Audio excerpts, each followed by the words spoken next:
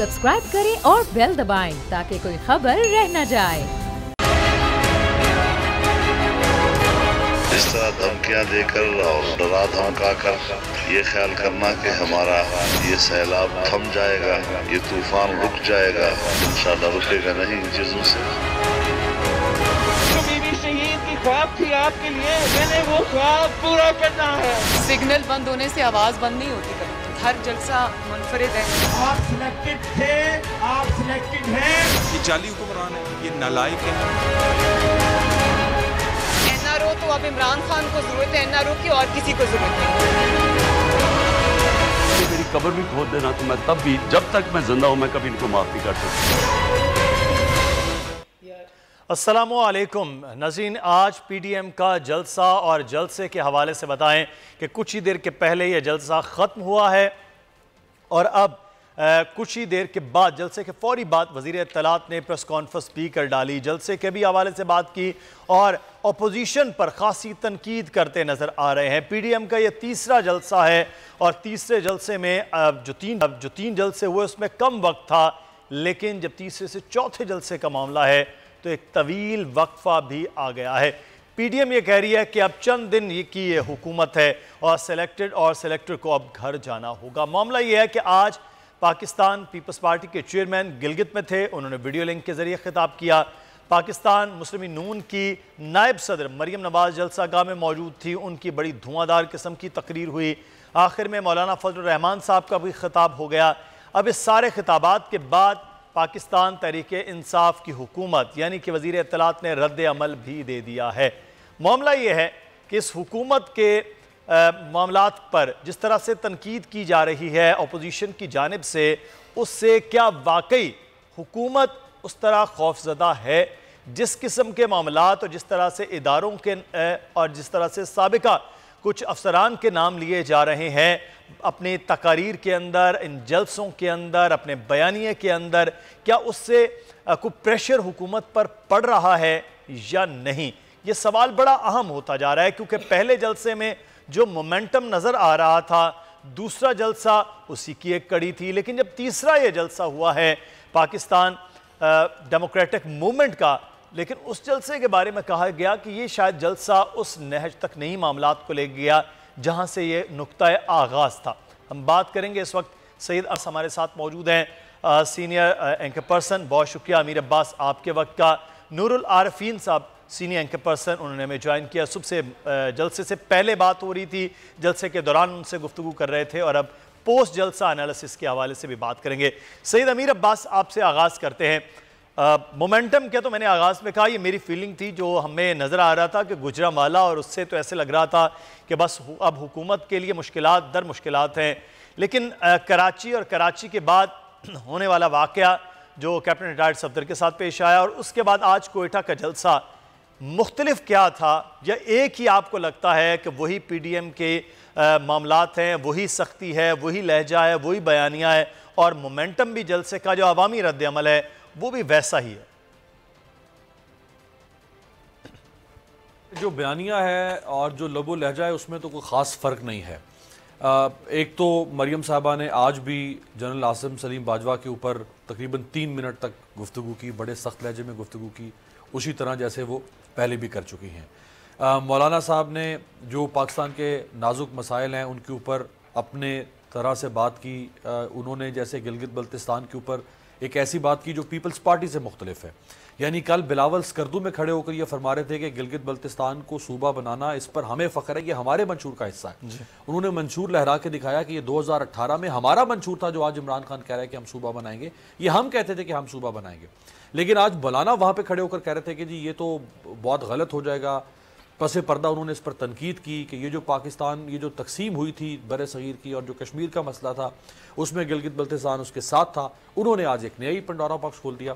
तो इनमें इख्तलाफात भी मौजूद हैं बहरहाल अपनी जगह पर लबो लहजा उसी तरह से इनका अपना अपना बयानिया है वो सख्त है। आ, इसके अलावा मरीम साहबा की स्पीच है। बिलावल ने अपना वीडियो लिंक से उनका खिताब था। नवाज़ शरीफ साहब का वीडियो लिंक पे ख़िताब का था। उन्होंने भी इंतहाई सख्त गुफ्तु की है। शायद पहले से भी ज़्यादा कुछ उनके अल्फाज सख्त थे। आ, लेकिन जलसे की अगर आप तादाद के हिसाब से देखें आप से देखें तो अभी ट्रांसमिशन शुरू होने से पहले ही मैंने वहाँ मौजूद एक साहब से इसकी एरियल फुटेज हासिल की है। तो एरियल फुटेज को अगर आप देखें जिससे आपको पूरे पंडाल का अंदाज़ा होता है तो ये एक मुनासिब जलसा ज़रूर था कामयाब जलसा था। लेकिन ये कोई बहुत तारीखी जलसा नहीं था। ये कोई इंसानों का कोई इंसानी सरों का समुंदर नहीं वहाँ पे उमड़ आया था, कोई जम गफ़ीर नहीं था। हाँ इस इस तरह के स्टेडियम्स को भरना, ये कोई बड़ी बात नहीं है। इस तरह की जमातें भर सकती हैं, इनमें पोटेंशियल है। मौलाना का वहाँ पे वोट बैंक है, महमूद खान अचकजई का वहाँ पे वोट बैंक वोट बैंक है, अख्तर मेंगल का वहाँ पे वोट बैंक है, डॉक्टर अब्दुल मालिक बलोच का वहाँ पे वोट बैंक है। इन सब का ताल्लुक बलूचिस्तान से है, कोयटा से अगर ये लोग वहाँ से अपने लोग नहीं निकाल सकते तो फिर किसने जाके वहाँ से लोग निकालने थे? एम क्यू एम तो नहीं निकालेगी ना या पी एस पी ने तो नहीं निकालने थे ना। इन्होंने निकाले थे इन्होंने लोग निकाल लिए मुनासिब है ठीक है। हाँ रुकावटें हुकूमत की अपनी जगह पर थी जैसे इंटरनेट को डिसकनेक्ट किया गया डबल सवारी पर पाबंदी फिर नेक्टा का एक अलर्ट उस अलर्ट की वजह से भी आ, आज देखें कुछ लोगों ने यहाँ से जाना था इस्लामाबाद से। आज सुबह की फ़्लाइट थी वो फ़्लाइट ताखिर का शिकार हुई। डेढ़ घंटे के बाद पता चला फ़्लाइट फिर ताखिर का शिकार। तो ये फ़्लाइट को बार बार क्यों डिले किया जा रहा था? उसमें कुछ जलसे के कुछ आम लोगों ने भी जाना था। फ़्लाइट क्यों ताखिर मेरी उनसे बात हुई। हती कि जब आखिरी फ़्लाइट का वक्त आया वो सवा तीन बजे का था। तो उन्होंने कहा अब हमें जाने का कोई फ़ायदा नहीं अब हम नहीं जाते। उन्होंने अपने जाने का प्लान कैंसिल कर दिया। फिर मोटरसाइकिल की डबल सवारी सवारी पर पाबंदी लगा दी। फिर वो नेक्टा के लड़ से भी एक खौफ का समा बना दिया गया। बहुत सारे लोग शायद उस वजह से भी नहीं आए होंगे। तो हुकूमत का अपनी जगह पर दबाव मौजूद है। आ, वो हर हुकूमतें करती हैं। मेरा नहीं ख्याल कि इमरान खान की हुकूमत कोई माजी की हुकूमतों से। इस सिलसिले में मुख्तलिफ़ है। माजी में भी हुकूमतें इसी तरह से अपोजिशन को दबाने का किरदार अदा करती थी रियाती मशीनरी इस्तेमाल की जाती थी मुख्तलिफ़ तरह के हरबे इस्तेमाल होते थे। आपको याद होगा जिस वक्त पी टी आई जलसे करती थी तो नवाज़ शरीफ साहब की हुकूमत भी नेक्टा के थ्रेट अलर्ट जारी कर देती थी लेकिन इमरान खान फिर भी बाहर निकला करते थे। तो आज भी वही हो रहा है। तो कोई खास फ़र्क नहीं है तरीका कार तो वही रहेगा। पुरानी अलर्ट्स भी हैं लेकिन साथ ही साथ गिरफ्तारियाँ तब भी होती थी अब भी बड़े इल्ज़ाम लगे पंजाब के जलसों में। आगे भी पंजाब में जलसे होने हैं पीडीएम के तब भी ऐसे मामला नज़र आएँगे। लेकिन असल मामला ये था नूर आरफीन साहब तकारीर का। कुछ तकारीर तो दिखाई नहीं जा सकती थी क्योंकि पैमरा के बाकायदा तौर पर पाबंदी है। कुछ तकारीर के हवाले से आपने सुन भी लिया। बिलावल भुट्टो जरदारी की तकरीर की बात हो गई मरीम नवाज़ साहबा की तकरीर हमने सुनी। आ, उसके बाद आखिर में मौलाना फजल रहमान जो सरबरा हैं पी डी एम के उनकी भी तकारीर हो गई। तमाम की तकारीर में लबो लहजे का फ़र्क है, लेकिन मतब नज़र एक ही है, और वो है इदारों के हवाले से, जिन्हें वो सेलेक्टर्स के लफ्ज़ करके इस्तेमाल करते हैं। मौलाना फजल रहमान ने आज बात की है कि इदारों की उनकी ज़िम्मेदारी का एहतराम करते हैं, लेकिन जाली हुकूमत की पुश्त पनाही पर उनसे शिकायत करना हमारा हक भी है। तो आज ही जो लबो लहजा है, वो बारा, बड़ा सख्त रहा, लेकिन जो नवाज़ शरीफ साहब की तकरीर थी, जो ऑनियर नहीं, वो हमने, आपने कुछ देखी भी मीडिया पर वो बड़ी सख्त थी। तो ये सख्त रवैये के साथ पाकिस्तान मुस्लिम नून पहले नंबर पर दूसरे पर मौलाना और तीसरे पर आकर पाकिस्तान पीपल्स पार्टी है, जो अपने अल्फाज में, अपने जुमलों में और अपने बयानिए में खड़ी हुई है। कैसा है? आप इतफाक़ करते हैं। बिल्कुल दुरुस्त कह रहे हैं आप। देखें, सबसे पहली चीज़ ये ये जो आप बात कर रहे हैं ना, पीपल्स पार्टी तीसरे पायदान पे खड़ी है अपनी लब लहजों के हवाले से, तनकीद के हवाले से। पीपल्स पार्टी के पास होने के लिए कम अज़ कम सूबह सिंध का इकतदार तो है। पीपल्स पार्टी का कोई दिमाग तो नहीं ख़राब है विद ऑल ड्यू रिस्पेक्ट कि वो बिला वजह अपनी लगी लगाई, दिहाड़ी पे लात मारेगी। वो जो एक मरे हुए आदमी को ज़िंदा करके करोड़ों मरे हुए आदमियों को रोज़ मारती है, वो आकर के बिला वजह किसी से मुकासमत मोल ले करके और अपना फ्यूचर बर्बाद कर दे। इतनी अहमक तो भाई हैं। अभी भी आप जहाँ चले जाएँ, उनका जलसा शुरू होता है भुट्टो की जवानी से। और बेनज़ीर भुट्टो पे आकर के फिर वो ख़त्म हो जाता है। बहुत ज़्यादा अगर कोई तीस मारखानी दिखाई तो फिर वो जरदारी साहब के दौरे हुकूमत में, वो जो आगाज़ हकूक़ बलोचिस्तान, हमने स्वात में झंडा लहराया, फ़लाना ढिकाना, इसके बाद फिर कुछ नहीं है। हाँ वो उन लाशों का ज़िक्र नहीं करते जो उनके पूरे दौरे हुकूमत में गिरते रहे। कभी हज़ारा कम्यूनिटी के, वहाँ पर कभी यहाँ कराची में जो कताल होता रहा, वो इन सब चीज़ों के बारे में बात नहीं करते। लियारी गैंग वॉर की जो सरपरस्ती की जुल्फ़ार मिर्ज़ा को जो यहाँ ला के मुसलत किया, उससे एम क्यू एम को जो टोन डाउन करवाया, वो सारी बातें वो बिल्कुल नहीं करेंगे। वहीं जा कर के वो लॉलीपॉप उनको गिलगित बल्तिस्तान वालों को भी बिलावल साहब देते नज़र आ रहे थे। नून लीग का, मरियम साहिबा का मैं जलसे में सुन रहा था, उनकी तकरीर मुझे बाकायदा हँसी आ रही थी। उन्हें डॉक्टर वो फलानी थी क्या नाम है डॉक्टर शाजिया। डॉक्टर शाजिया का ख्याल उन्हें इतने ज़माने के बाद अब्बा हुजूर की हुकूमत को धड़म तख्ता हुए एक ज़माना हो गया। अब्बा हुजूर जब वज़ी अजम थे तब इनको याद नहीं आया था कि वो डॉक्टर शाजिया और उस जैसी पता नहीं कितनी और बेटियों को दुख्तरान मिलत को इंसाफ देना था। अब्बा हुजूर की हुकूमत में जब मॉडल टाउन का सानिया हो रहा था तो चचा जान का दामन पकड़ती ना उनसे पूछती कि भाई ये क्या हो रहा है? वो राना सनाउल्ला की मूछों तले सारा, पूरा पूरा निज़ाम धड़म तख्ता हुआ पड़ा था। किसी को नहीं थी कि इनको इंसाफ दे सकता। अब उन्हें ख्याल आ रहा है कि बलूचिस्तान का इस्तेसाल हुआ, इसलिए कि अपने पास से जो दाने दुनके थे, वो तबाह हो गए, चले गए। ये यहाँ जब रियासत के अंदर रियासत बना करके इन्होंने, मुझे अच्छी तरह से याद है, एक खबर छपी थी उनके दौरे हुकूमत में। तकरीबन कई हज़ार पुलिस वालों को इन्होंने अपने वहाँ पे सिक्योरिटी के ऊपर लगाया हुआ था और नोटिस किस बात के ऊपर लिया करते थे? ममनून साहब जो उस वक्त सदर ममलिकत थे, उनको एक दिन बग़ैर स्त्री का कपड़े पहन करके, शेरवानी अचकन पहन करके और एक सफ़ीर से मुलाकात के लिए ले जाया गया।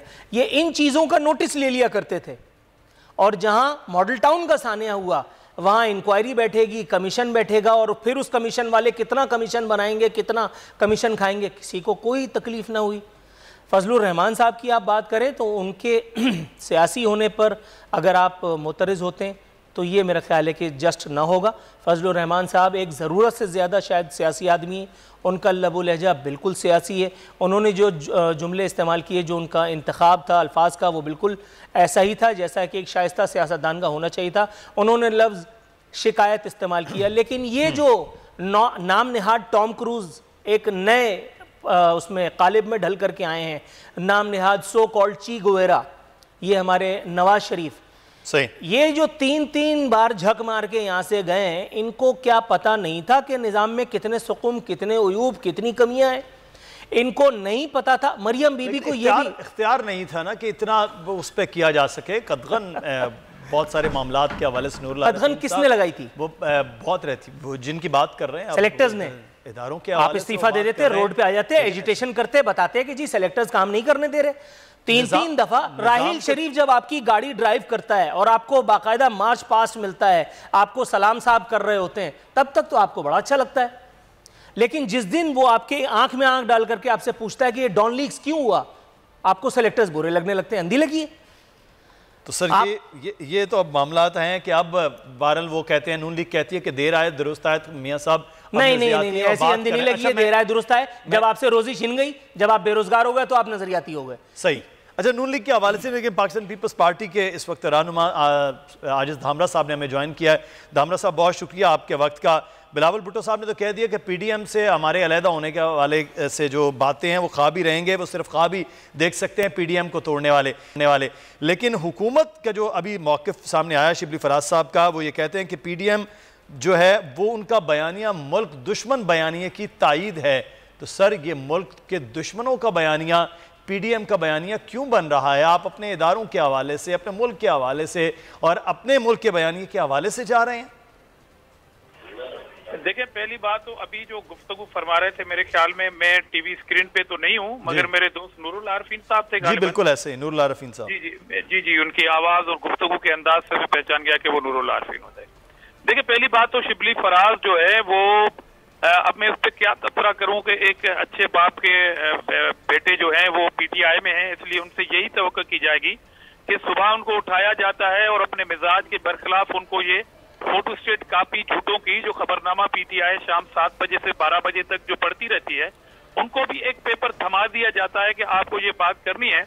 और शिबली फराज साहब से कोई ये पूछे कि एक शख्स थे जिसका नाम था अल्ताफ हुसैन और एक दूसरा शख्स थे जिसका नाम है इमरान खान। वो उसको गद्दारी मुल्क गद्दार और दहशत गर्द करार देने के लिए लंदन गए थे ब्रीफ केस लेके। और वहाँ से फिर वापस आए और कराची में उनके खिलाफ दो तलवार में जुलूस निकाला और कराची के अंदर कत्ल गारत की जितनी भी ज़िम्मेदारी थी, वो वहाँ पे डाली जाती रही और कल शिबली फराज के कुलीग हैदराबाद में असद उमर साहब आए और उन्होंने कहा कि पीटीआई और एमक्यूएम का मंशूर जो है, वो एक ही है। मतलब एक ही तस्वीर के दो रुख हैं, सिक्के के दो रुख है, पीटीआई और एमक्यूएम चलो, ये तो मुबारक हो शिबली फराज को कि एमक्यूएम के नेरेटिव को वो अपना नेरेटिव समझ में बैठे हैं। और दूसरी बात, इदारे हम सबके हैं, इनको तकलीफ़ ये हुई है कि कराची वाक्य के बाद जो एक नोटिस लिया गया है, एक इदारे के चीफ के लिए, ये समझ रहे थे कि शायद ये इदारे पीटीआई के हैं, मगर हम इन्हें बार बार कहते रहे कि इदारे पीटीआई के नहीं हैं, इदारे किसी हुकूमत के नहीं होते इदारे रियासत के मातहत होते हैं और इदारे रियासती इदारे होते हैं। एक बात और अभी नूरुल आरफिन साहब ने जितनी तनकीद की मेहरबानी फरमाई है अपोजिशन पे और माजी की बातें याद दिलाई हैं। नूरुल आरफिन साहब पीडीएम क्यों बनी? पीडीएम के जलसे क्यों हो रहे हैं? इनका जवाब क्या है? देखिए हम बुरे हैं हम इकतदार में नहीं है तमाम पार्टियाँ इकतदार में नहीं है उनका इदारों के हवाले से नेरेटिव बुरा बुरा है। बिलावल साहब की जो पार्टी है, उनके वो भी सिंध में काम कर रही है, बाकी सूबों से आउट है पीएमएलएल भी नहीं है। तो नूरुल आरफिन साहब, बड़ी मेहरबानी होगी। आप अपने तबसरे के पाँच सेकंड सिर्फ़ हुकूमती नाहली पे तबसरा कर देते। सर तो आपने मेरे प्रोग्राम नहीं देखे आपने मेरा इंट्रो मिस किया आपने मेरी दोपहर की ट्रांसमिशन मिस की। शिबली फराज साहब के सवाल के हवाले से मैं आप ही के आप ही के तवसुस से मुदस्सिर साहब से रिक्वेस्ट करूँगा। एक बार मुझे दोबारा जहमत कलाम दें फिर आप देखिए मेरा कमाल। साहब मेरे प्यारे भाई मैं इस गुफ्तु की बात कर रहा हूँ जो मैं खुद शरीक हूँ ट्रांसमिशन में। ज़रूरी नहीं कि मैं दूसरी ट्रांसमिशन सुन सका हूँ मगर मैं अपनी इसकी बात कर रहा हूँ। देखो मुझे तो आपसे इतना प्यार है कि मैं आवाज़ से समझ गया कि आप ही बात कर रहे होंगे मगर कहने का मकसद ये है कि आप देखें इशू ये है कि माजी के करप्शन एहसाब माजी में करप्शन की माजी की क्यादत ने उसके लिए नेप मौजूद है हम जाने नेप जाने। इशू ये है कि 18 अगस्त 2018 के बाद जो करप्शन हो रही है मुल्क में या महँगाई हो रही है उसकी जिम्मेदार या तो आप कहें कि पीपुल्स पार्टी है मुस्लिम लीग नून है मौलाना फजल रहमान है माजी के बनाए हुए केस ये कहते हैं, हमने नहीं बनाए, ये आपस के दौर के केसेस बने हुए हैं। जी जनाब अली, उसके लिए नैब अदालतें और हम मौजूद हैं। मगर 18 अगस्त 2018 के बाद होने वाली करप्शन, वो कर रहा है जो हुकूमत में है। और हुकूमत में इतफाक से पीटीआई है और पीटीआई के अंदर काबीना के जो लोग बैठे हुए हैं, उनका एहतसाब कौन करेगा? जब वो नहीं हो रहा है तो फिर सवाल उठेंगे। उन नेब से भी उठेंगे। अगर नेब की बात करते हैं तो कहते हैं, जनाब आप इदारों के खिलाफ बात करते हैं। जब सिलेक्टर्स की बात होती है तो देखें नाम तो किसी का नहीं आ रहा है ना तो तकलीफ़ क्यों हो रही है? सही। अपोजिशन को जलसे अच्छा, ना- ना- नाम के हवाले से दामरा साहब, नाम के हवाले से- में कोई नहीं आएगा। सही। अच्छा कुर्सियाँ खाली दा, साहब मेरा सवाल मेरा सवाल भी ले लें साथ ही। गुजरावाला में में ग्राउंड खाली था कोई नहीं आया। कराची के अंदर आवाम बिल्कुल नहीं आई कुर्सियाँ खाली थी। आज कोटा के अंदर अपोजिशन के जलसे में कोई नहीं आया। तो ये परेशानी किस बात की है? छोड़। दें।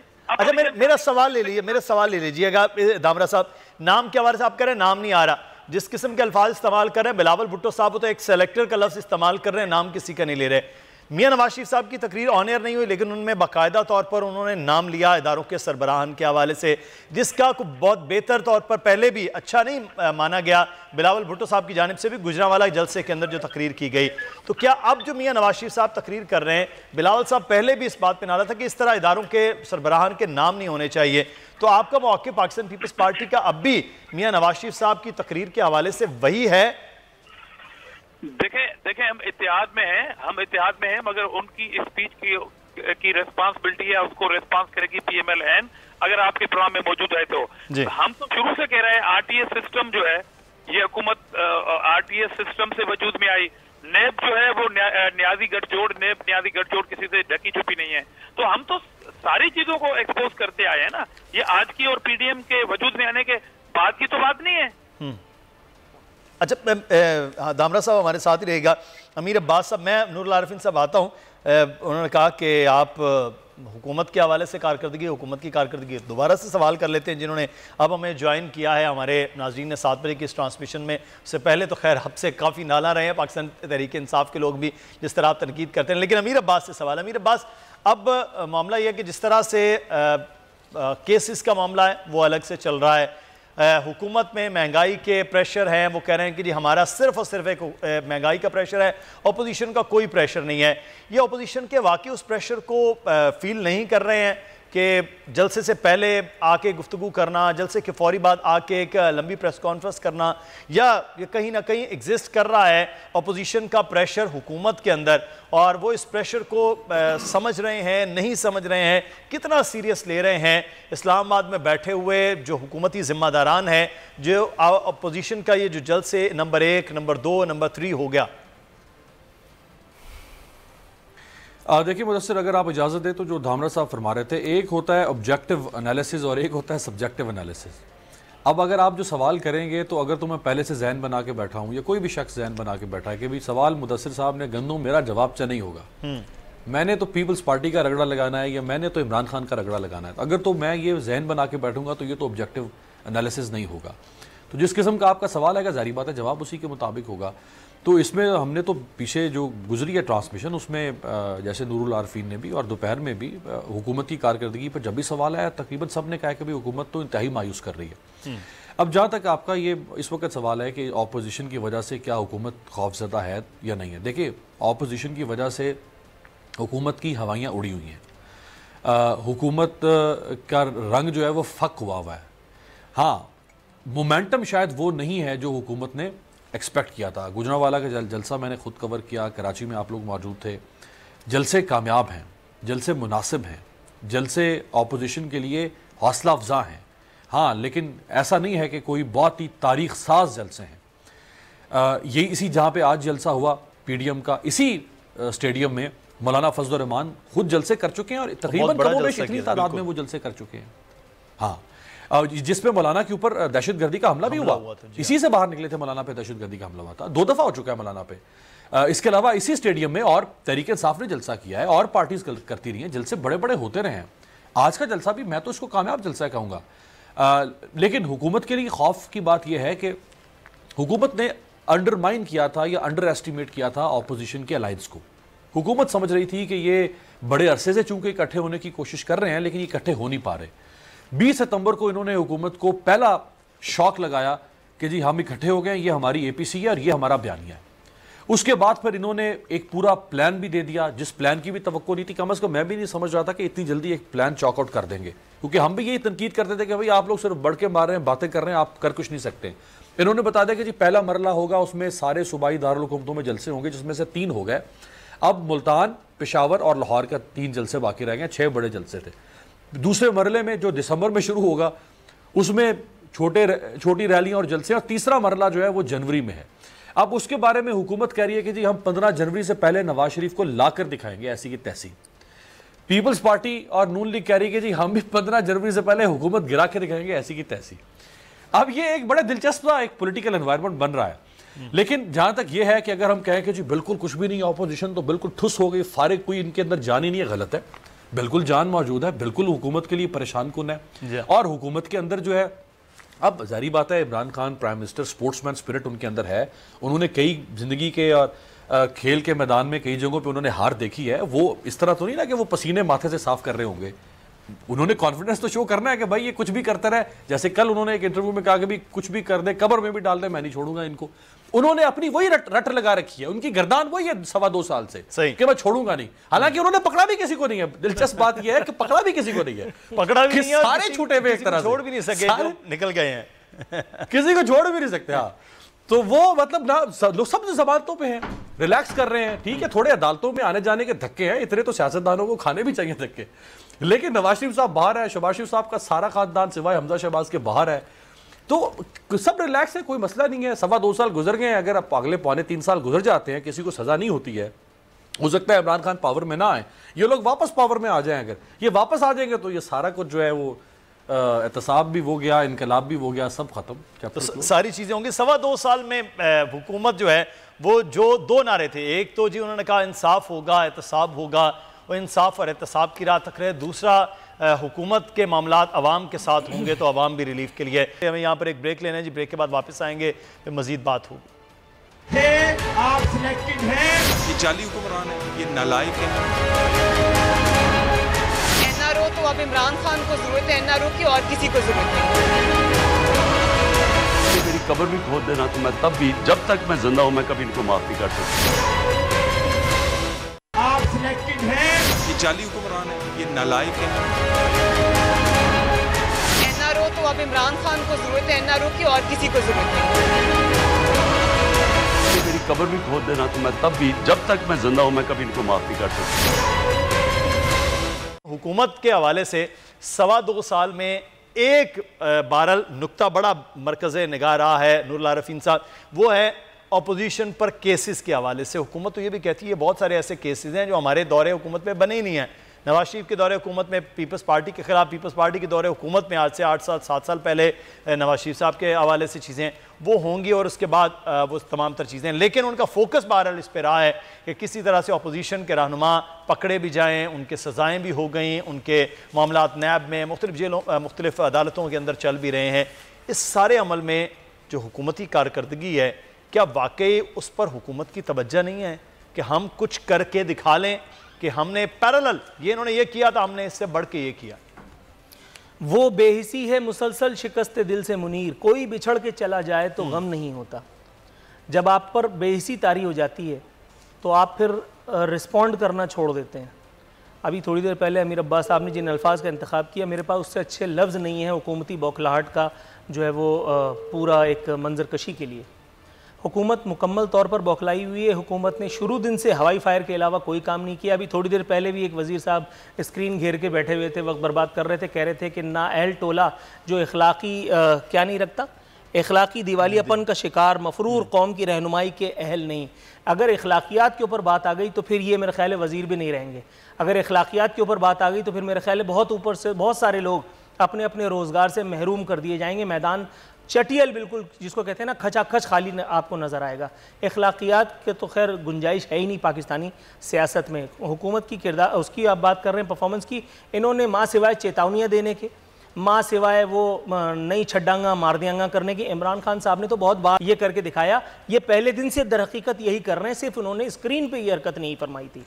शुरू दिन से इनका काम यही था और मैं डे वन से कहता चला आ रहा हूँ, मैं उन गुनाहगार लोगों में से हूँ जो डे वन से ये कह रहे हैं कि ये कुछ नहीं कर सकेंगे, आसिफ अली जरदारी का वक्त ने बता दिया। मैं शुरू दिन से ये कह रहा हूँ कि ये नवाज़ शरीफ को नहीं रोक सकते, वक्त ने बता दिया। मैं शुरू दिन से ये कह रहा था कि ये आसिफ अली जरदारी को छोड़ेंगे, आसिफ अली जरदारी को मेडिकल एनआरओ मिलेगा। नवाज़ शरीफ को मेडिकल एनआरओ मिलेगा। वक्त ने ये सब बयानात साबित सही साबित करवा दिए।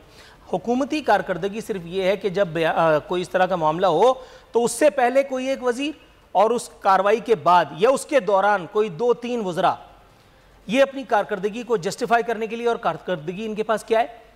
ये या तो आदाद व शुमार के गोरख धंधे में हमें उलझाते हैं। ये फिर हमें ये बताते हैं, शरीफ खानदान ने कितनी चोरी की। मैं अगर इनसे ये पूछता हूँ तो इनके मेहमान मेरे प्रोग्राम से भागना शुरू कर देते हैं कि आपने इतने दिनों में कितने लोगों को टांगा? आपको चीन का मॉडल पसंद है एहतसाब का। फायरिंग स्क्वाड के सामने आप खड़ा करने के किसी को रवादार नहीं है। हुकूमत के पास एक मैंडेट है एहतसाब का। आप इदारों के पास केसेस भेज सकते हैं। कितने केसेस में आपने सजाएँ करवाई हैं? कितने केसेस में? नवाज़ शरीफ के खिलाफ सारे मुकदमा थे। नवाज़ शरीफ अगर कौम को लूट करके खा गया था, कंगाल कर दिया था तो आपने अब तक क्या झक मारी? पहले एक डॉक्यूमेंट किस हाथों ब्लैकमेल होकर के आपने नवाज़ शरीफ को बाहर भेजा। अपनी आपने जान छुड़ाई, जान की खुलासी कराई। उसके बाद अब आप ये कह रहे हैं कि मैं बाहर से उसको लेकर के आऊँगा। पहले आपने ये भी कहा था कि मैं अल्ताफ हुसैन को लेकर आऊँगा। मैं उस वक्त से कह रहा हूँ ऑन एयर कह रहा हूँ, इसी अंदाज में कह रहा हूँ, इन्हीं अल्फाज में कह रहा हूँ कि आप अल्ताफ हुसैन का मोजा भी नहीं ला सकते। वक्त ने साबित किया। कि आप गलत कर रहे थे, गलत कह रहे थे, दरोग गोई कर रहे थे और आने वाला वक्त भी ये साबित करेगा कि आप वहाँ से भी मुँह की खा के आएँगे। आप इसहाक डार को तो ला नहीं सके। आप चलो वो छोड़ो इसहाक डार। मामले से थोड़ा सा हट जाएँगे, लेकिन सिर्फ़ नाम लेके निकल जाता हूँ। वो सिद्दीकी जो है, वो एक, क्या नाम है उसका? हम्माद सिद्दीकी। हम्माद सिद्दीकी के वेयर अबाउट्स के बारे में तो आपको पता नहीं चल सका आज तक। आप नवाज़ शरीफ को लेकर के आएँगे, तीन बार के सबक वज़ीर आज़म को लेकर के आएँगे, जिसको आपने मिनते तरले करके और बाहर भिजवाया। आप पहले यहाँ बैठ करके ये तो पता कर लेंगे शहबाज शरीफ से इस वक्त रात के सन्नाटे में कौन कौन कहाँ कहाँ मुलाकातें कर रहा है। आप पहले ये तो मालूम कर लें कि इस वक्त कितने ऐसे लोग हैं जो वक्त पड़ने पर शहबाज शरीफ के अ, को अपना एतमाद दे करके और आपके पैरों के नीचे से ज़मीन निकाल सकते हैं। हुकूमती कारकर्दगी पर मेरा ख्याल है इतना बहुत है। शौकत बसरा साहब इस वक्त हमारे साथ आ गए उनसे बात कर लेते हैं। बसरा साहब एक तरफ़ तो पी डी एम के जलसे हैं उनके जलसों के हवाले से मुख्तलिफ़ तकारीर मुख्तलिफ़ रद्द अमल हुकूमत की जानब से आ रहे हैं। मुदस्सिर मुदस्सिर एक जी। जी जी जी जी। अमीर अब्बास मैं भी अच्छा, सवाल करता हूँ एक, एक जुमला। जी। जी जी आप आप जाएँ शौकत भाई के पास। एक एक कमेंट कर दूँ। देखें वो पहले धामरा साहब देर से ज्वाइन किया उन्होंने कहा कि यार आप हुकूमत पे तनकीद नहीं कर रहे हम पे तनकीद किया जा रहे हैं। अभी बसरा साहब आए उन्होंने कहा यार आप हम पे तनकीद किए जा रहे हैं उन पे नहीं कर रहे अपोजिशन पे। तो आप समझ नहीं आ रही कि किसको खुश करना है किसको नाराज़ करना है। सर ये तो आवाम को खुश कर रहे हैं कि आवाम क्या चाह रही है। और इस वक्त जो है वो अपोजिशन की बात करें तो हुकूमत नाला है हुकूमत की नाला हुकूमत की नाला बात करें तो अपोजिशन नाला हो जाती है। जो काम हुकूमत के करने के हैं वहाँ तो हमें हुकूमत नज़र नहीं आ रही है सिवाय एहतसाब के नारे के एहतसाब की बातों के या एहतसाब के प्रेस साहब के प्रेस कॉन्फ्रेंस के हवाले से। जो किया जा सकता है वो नहीं हो रहा तो फिर ये बस खाली पीली इधर भी नारे लग रहे हैं। अच्छा मुदस्सिर अ, आपको याद है वो खान साहब कहा करते थे कि नवाज़ शरीफ और आसिफ जरदारी का मुख मुका है? जी। वो इस बुनियाद पर कहते थे कि ये एक दूसरे के खिलाफ एहतसाब का नारा लगाते थे लेकिन कभी किसी का एहतसाब इन्होंने किया नहीं एक दूसरे का। मेरा मुझे पता नहीं कन्विक्शन से ये बात कहनी पड़ रही है कि मुझे लगता है कि इमरान खान साहब का नवाज़ शरीफ और आसिफ जरदारी अब इन तीनों का भी मुखमुका है आपस में। अच्छा। क्योंकि यानी वो मुखमुका तो खत्म अब ये एक और मुखमुका है। देखे ना कोई एक ऐसी एहतसाब का कोई एक ऐसा आ, ऐसी कोशिश दिखा दें। मैं बहुत अदना सा तालब इल्म कोई ऐसी कोशिश दिखा दें इन सवा दो साल में। कोई ऐसी आ, कोई ऐसी कोई ऐसा रिफॉर्म दिखा दें अकाउंटेबिलिटी के प्रोसेस के अंदर। कोई ऐसी कोशिश दिखा दें कि जिसने इस प्रोसेस को एक्सपोडाइट किया हो जो माजी में नहीं हुआ हो और इन्होंने किया हो। खुदा गवाह कि ये वही एहतसाब हो रहा है जो नवाज़ शरीफ आसिफ जरदारी का करते थे जो आसिफ जरदारी नवाज़ शरीफ का करते थे और फिर दोनों एक दूसरे का नहीं करते थे। और वो कभी नहीं हुआ था। आज इमरान खान इन दोनों का कर रहे हैं ये नहीं हो रहा ना होगा। जो सुप्रीम कोर्ट का आपने रेफरेंस रेफरेंस दिया देखें सुप्रीम कोर्ट ने कहा 120 अदालतें बनाए। ये बात भी इस बात को भी डेढ़ दो माह हो गए हैं। जी हाँ। ये काम तो इमरान खान साहब को कर देना चाहिए था। आते साथ ही हल्फ उठाते ही 18 अगस्त की हल्फ को हल्फ उठाया। 18 अगस्त की शाम को यह फैसला करते कि 25 साल तक मैंने जिस कौम को सुबह शाम एहतसाब की यखनी पिलाई है, मेरा तो सारी सियासत की इमारत खड़ी एहतसाब के नारे के ऊपर है। बाकी तो सब कुछ एक तरफ़ रख देना, जो मदीना की रियासत, जो वेलफेयर स्टेट जो स्कैंडिनेवियन स्टेट वो एक तरफ़ रखते असल जो इमरान खान साहब को जो पॉपुलर स्टांस उनका था जिसकी वजह से लोगों ने उनको पसंद किया उनको इकतदार मसनद इकतदार पर लाया गया वो एहतसाब का नारा था। उस एहतसाब के लिए कुछ किया नहीं आपने। यानी ये तो एक जहल उजट गवार को भी पता है इस बात का। इल्म होना चाहिए और होगा कि 25 जजों के साथ आप एहतसाब नहीं करते आप मज़ाक करते हैं यार। सही।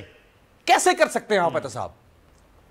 तो आपने जो जो रुकावटें हैं एहतसाब के रास्ते में वो जजों की कमी थी वो समात अभी ये अगली बात सुप्रीम कोर्ट ने जो अभी तीन चार तीन दिन पहले कही कि आइंदा से रोज़ाना की बुनियाद पर समात होगी। मैं जाति कई केसेस में मेरी अपनी बड़ी जो डीप स्टडी है जैसे जरदारी साहब का केस है को आठ महीने लगे मुदसर साहब सिर्फ़ फर्द जुर्म आयद होने पर। जी हाँ। और ऐसे ऐसे जवाज घड़ के लाते थे फारूक इस्नाइक साहब कि आप बाल नोचते कि यार ये तो किसी के जहन में भी नहीं था तो फारूक इस्नाइक बात कर रहा है अभी। यानी एक दफ़ा उन्होंने ये कहा कि पी पीआईए की हुकूमत ने पीआईए के पायलट्स की जाली फहरिस्त जारी की है कि पीआईए के पायलट जाली हैं। लिहाजा चूँकि पीआईए के पायलट जाली हैं हम आसिफ अली जरदारी साहब की जान को खतरे में नहीं डाल सकते हम कराची से उनको पीआईए पे बिठा के इस्लामाबाद लेकर आए। अब कर रहे हैं आप साहब यानी ऐसे ऐसे जवाज लाए जाते हैं जिसकी बात क्या होता है? जज साहब माशाल्लाह वो ये नहीं करते कि अगले दिन की समाज तारीख डाल दो उससे अगले दिन की। एक महीने की समाज डेढ़ महीने की का इल्तवा। खाकों का एहतसाब इस तरह से यार। ये बात तो एक बच्चे को भी पता है जो ऑब्ज़र्व करे केस को पिछले सवा दो साल में क्या हो रहा है। ये बात पाकिस्तान के चीफ एग्जेक्टिव को समझ को नहीं आ सकी? यानी सुप्रीम कोर्ट ने अल्टीमेटली इनको आईना दिखा दिया कि भाई ये वो रुकावट है जिससे तुम्हारा एहतसाब नहीं हो रहा खुदा के बंदे क्या कर रहे हो तुम? लेकिन कुछ नहीं जितने छत्तीस ऑर्डिनेंस ये लेकर आए हैं कोई एक ऑर्डिनेंस ये एहतसाब के हवाले से भी लेकर आ जाते सब दो चीज़ें हैं। जो काम अगर ये आप बात कर रहे थे कि जो काम किया जा सकता है फिर वो तो खुद करना था ना। उसके बाद सुप्रीम कोर्ट के अहकाम हुए डेढ़ दो महीने पहले मैं एक बात ऐड करना चाह रहा हूँ अमीर अब्बास साहब की इस एक बात के जवाब में। मैं सिर्फ़ याद दहानी के लिए बता रहा हूँ नाजरीन को कि मैंने अभी कुछ अर्से पहले हसन निसार साहब का इंटरव्यू किया।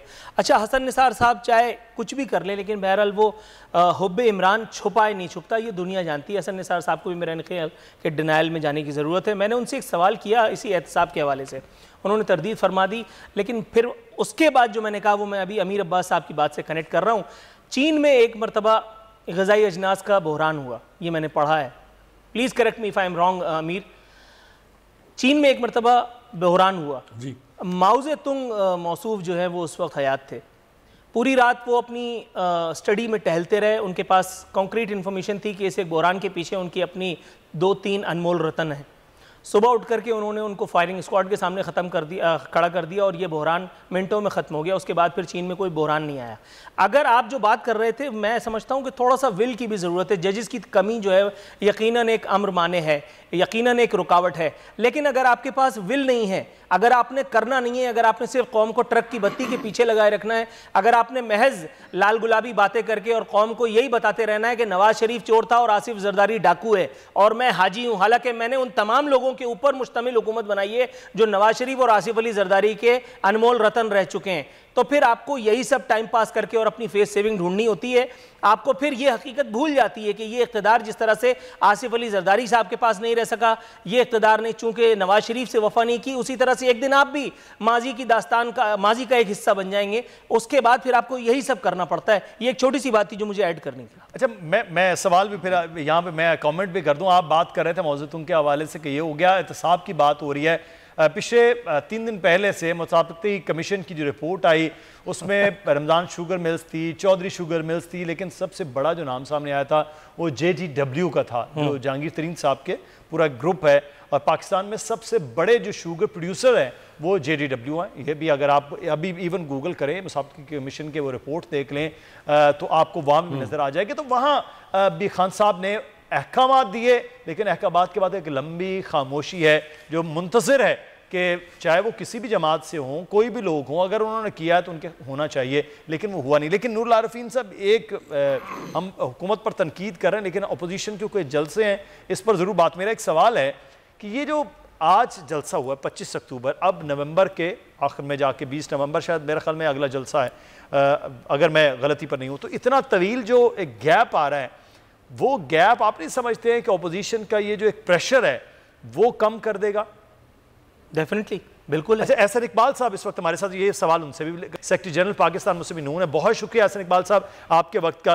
सर, ये जो बड़ा एक तवील वक्त है तीन जलसे तो आपके बैक टू बैक हो गए, अच्छी, एक ज़बरदस्त कामयाब किस्म के जलसे भी हो गए, लेकिन ये जो एक तवील वक्त है, ये क्यों रखा गया है? वो जो एक मोमेंटम है, वो कहते हैं वो मोमेंटम बना ही रहना चाहिए और एक प्रेशर है, वो उसी तरह से बिल्ट रहना चाहिए। इसकी क्या वजह है, सर?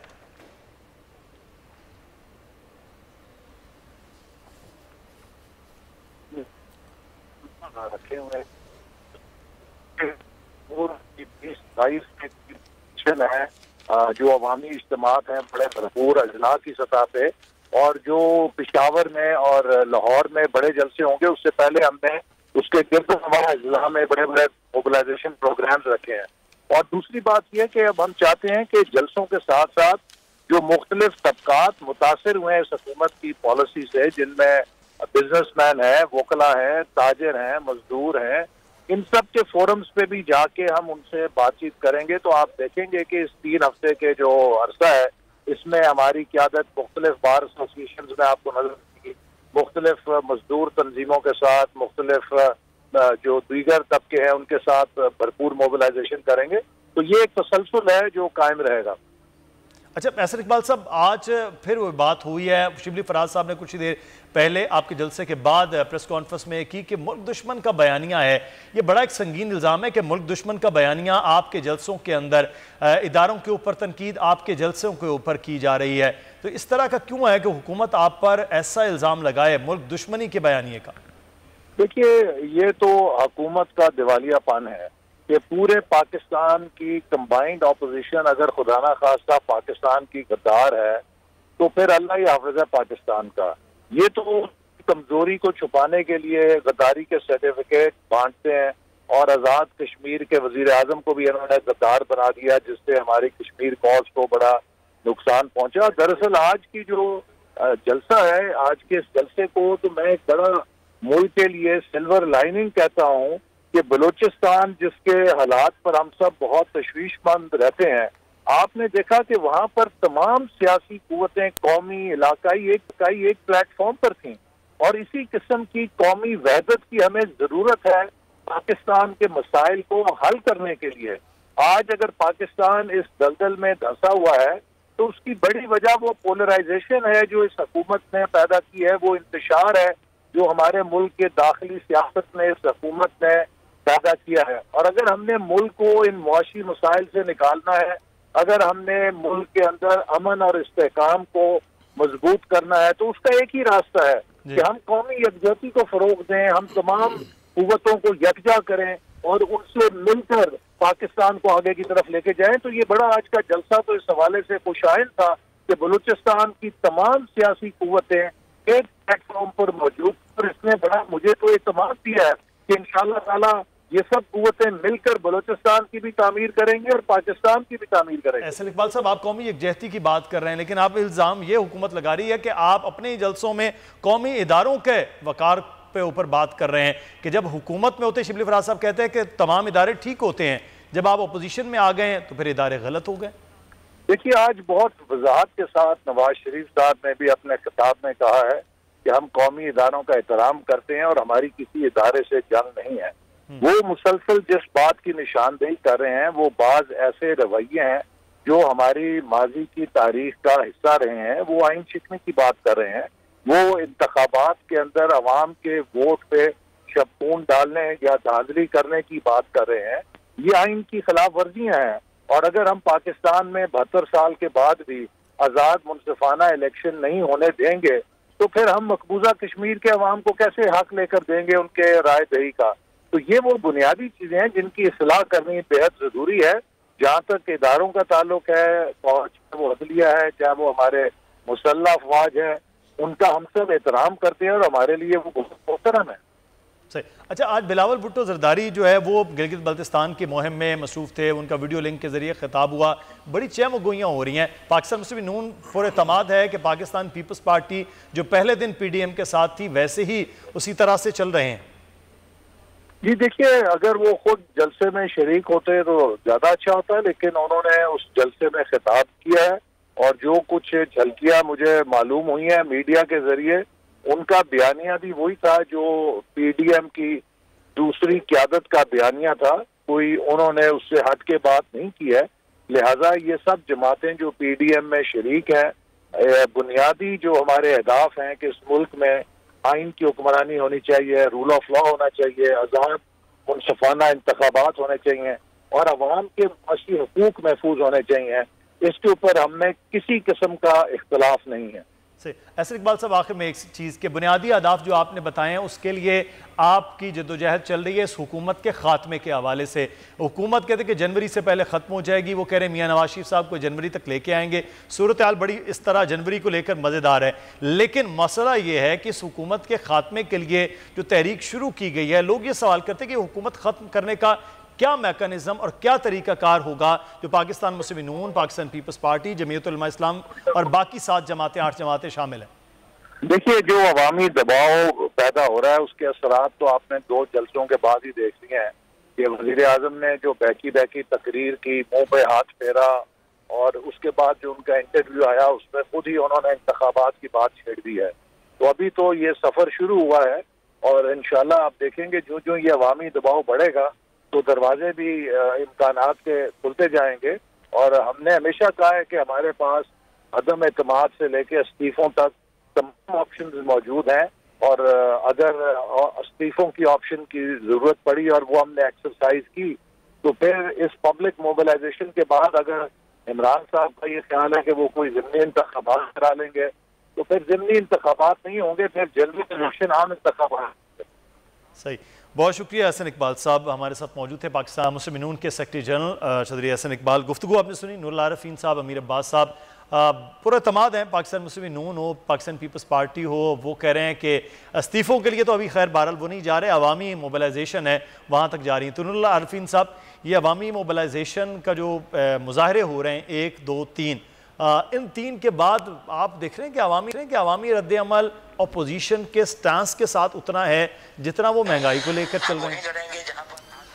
अवामी रद्दमल इसमें तो कोई दो राय नहीं जहाँ से मैं देख रहा हूँ ये शायद जहाँ से अमीर अब्बास साहब देख रहे हैं आ, मुझे ऐसा गुमान है कि अवाम जो है वो मौजूदा हुकूमत के ख़िलाफ़ ज़रूर है लेकिन अवाम की अक्सरियत अपोजिशन के साथ शायद इतनी नहीं है।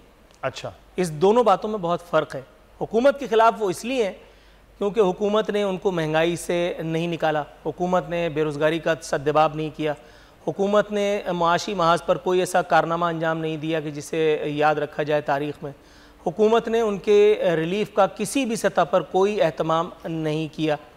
एहतसाब के महाज पर हुकूमत जो जिस तरह से ज़मीन बोस हुई है, धड़न तख्ता हुए हुकूमत के नारे, वो आप अभी थोड़ी देर पहले उसका बयान फरमा ही रहे थे कि इतने में एहसन इकबाल साहब की कॉल मिल गई। आप जहांगीर तरीन साहब के उस मशहूर ज़माना जे डब्ल्यू के हवाले से बात कर रहे थे। जहांगीर तरीन साहब का एहतसाब इस मुल्क में किसको लगता है कि कौन कर लेगा? मतलब किसके पास इतनी फुर्सत है? किस दूसरी बात यह कि किसके पास इतना मैंडेट है कि वो जहांगीर तरीन का जो है वो एहतसाब करेगा? इस मुल्क में सिस्टम को कोलेप्स करने के लिए अगर आपको जाना है तो फिर जहांगीर तरीन का आप एहतसाब करा दीजिए। जहांगीर तरीन का वो तैयारा मौजूदा हुकूमत की तश्कील का सबब बना है ये बात क्या गली के एक आम आदमी को नहीं पता? ये क्या गली में खेलने वाले एक आम बच्चे को नहीं पता? ये मैं कोई बहुत बड़ा इंकशाफ तो नहीं कर रहा हूँ? बस बहुत सारे लोग बोलते हुए थोड़ा लेकिन सर जहांगीर तरीन साहब को इन मुल्क की अदालतों ने नायल भी तो करार दिया है। तो अच्छा ठीक है, ये बात आपकी बड़ी मज़े की है। जहांगीर तरीन को इस मुल्क की अदालतों ने नाहल करार दिया और एक नाअहल शख्स के तैयारे पे बैठ करके जो अरकान असम्बली की शॉपिंग की गई, उन्हीं से हमारी पार्लियामेंट का गोरख धंधा माशाला चल रहा है। ये मज़ाक नहीं है आपके ख्याल में? ये मज़ाक नहीं है? ये मुस्कुराने की बात नहीं है मुदसर ये बहुत सीरियस बात है। ये हमारे यहाँ का दोगलापन है। ये हमारे यहाँ का दोगलापन है। जब तक हम इससे निजात नहीं पाएँगे आपने छोट थोड़ा सा आप एक सवाल कर लेते हैं एक पार्लियामेंटेरियन का इस्तेकाक जो है वो मजरू हो जाता है। आप किसी सियासी जमात के रहनुमा से कोई तल्ख सवाल अगर कर लें जिससे उसका जिसको कहते हैं कि इस्तेकाक मजरू हो आपको शोकॉज नोटिस मिल जाता है। आपको जो है वो पार्टी बाइकआउट कर जाती है। लेकिन ये जिन लोगों के बल पर उठ करके अरकान असम्बली बनते हैं उनके इस्तेकाक का क्या करना है? सही। उनको पीने का साफ़ पानी ये नहीं देते। उनको इन्होंने ट्रक की बत्ती के पीछे लगाए रखा है। जस्ट बिकॉज़ कि अगर वो सारी प्रोविज़न उनको उनके डोर स्टेप्स पे मिल गई तो वो इनके वे ऑफ़ गवर्नेंस पे सवाल करने लगेंगे। क्या यही तरीका वारदात पाकिस्तान पीपल्स पार्टी का नहीं था? क्या यही तरीका वारदात पाकिस्तान मुस्लिम लीग नवाज़ का नहीं था? क्या यही तरीका वारदात आज इस एक मौजूदा हुकूमत का नहीं है? आज हमें यह बताया जाता है कि कोई कौम कपास बेच करके, कपड़े बेच करके जो है वो खुद मुख्तार नहीं होती। हमें यह नहीं बताया जाता कि वो कौन सी मुमलिकत है जो अपनी ही एयरलाइन की कमर तोड़ करके और अपनी मीशत को जो है वो उड़ान भरवाएगी। ये कैसे मुमकिन है? ये कैसे मुमकिन है? एक तैयारा गिर जाता है उसकी इंक्वायरी आपसे नहीं होती। नवाज़ शरीफ के दौर में एक तैयारा जेब में डाल करके वो जर्मन नजाज सीईओ ले जाता है। आपको पता है कि किन लोगों ने ये कांड किया है लेकिन आप उनके एहतसाब को नहीं जाएँगे। जहांगीर तरीन आपकी आँखों के सामने मुँह चढ़ाता हुआ यहाँ से लंदन गया नाम नेहाद इलाज करवाने के लिए। ऐसा इलाज यहाँ रोज़ाना सियासतदान करवा रहे तो होते ऐसे ऐसे ही एहतसाब का मामला। मैं ब्रेक से जाने से पहले शौकत बसर साहब से मैं दोबारा से रबता हुआ है बहुत शुक्रिया आपके वक्त का। आप हुकूमत खौफजदा हो गई है जलसों में, क्यों इतनी खौफ आ रहा है? अगर आप ये समझते हैं कि इस बयानिए को लेकर आवाम कबूल ही नहीं कर रही। मुदस्सर, ये चले हुए कारतूस, ये भानुमति का कुनबा, इनसे कौन डरेगा? मुझे पहले आप ये बात बताएँ। मुझे एक बात बताएँ, ये कौन लोग हैं? ये वही लोग हैं ना? अभी मेरे भाई सही कह रहे थे, सत्तर साल में ये आमरीत रही का टोला है। ये ठगों का टोला, ये आज अपनी करप्शन लूटमार, आल उलाद, माल बचाने के लिए इकट्ठे हुए हैं और मगरमच्छ के आँसू बहा रहे हैं। इनको गुर- इनको गुर्बत का क्या पता हो? इनको क्या पता वो गरीब आदमी दो वक्त की रोटी जब नहीं पकती, उसके बच्चों पे क्या गुजरती है? यही तो वो लोग हैं जिनकी वजह से आज पाकिस्तान गरीब हुआ है। यही वो लोग हैं जिनकी वजह से आज लोगों के घर में फाके हैं। मैं मान जाता अगर ये भी गरीब होते, इनके दुनिया में मोहल्लात मौजूद हैं गली गली घर मौजूद हैं। तो मेरे भाई ये जो लोग इकट्ठे हुए हैं मैं फिर आपको कह रहा हूँ खबर ये होती अगर लोग ना आते तो भाई बलूचिस्तान में आप देखें ना वहाँ पर एएनपी है वहाँ पर मौलाना फजल रहमान है नौ जमातें हैं पीपल्स पार्टी है इनको तो वहाँ पर समंदर होना चाहिए था लोगों का। लेकिन वो मासूम लोग हैं उनको पता चल जाएगा कि ये लोग जो आज सिर्फ़ आप अंदाज़ा ये करें इनके जलसों पे और इनकी जबान जो रियासती इदारों के लेकिन सर ये तो अब आवाम तो हुकूमत की जानब देख रही है। आप तो हुकूमत के जो जिम्मेदारियाँ उस वो ज़्यादा पूरी हों तो इसमें कल को दो चार पाँच छः सौ बंदे से भी ज़्यादा ना नज़र आए। बहुत शुक्रिया। शौकत बस्तर साहब हमारे साथ मौजूद थे। हैं। ये जाली हुक्मरान है। ये नालायक है। एनआरओ तो अब इमरान खान को ज़रूरत है। एनआरओ की और किसी को ज़रूरत नहीं। कि मेरी कब्र भी खोद देना तो मैं तब भी, जब तक मैं ज़िंदा हूँ, मैं कभी इनको माफ़ नहीं कर सकता। सब्सक्राइब करें और बेल दबाएँ ताकि कोई खबर रह न जाए।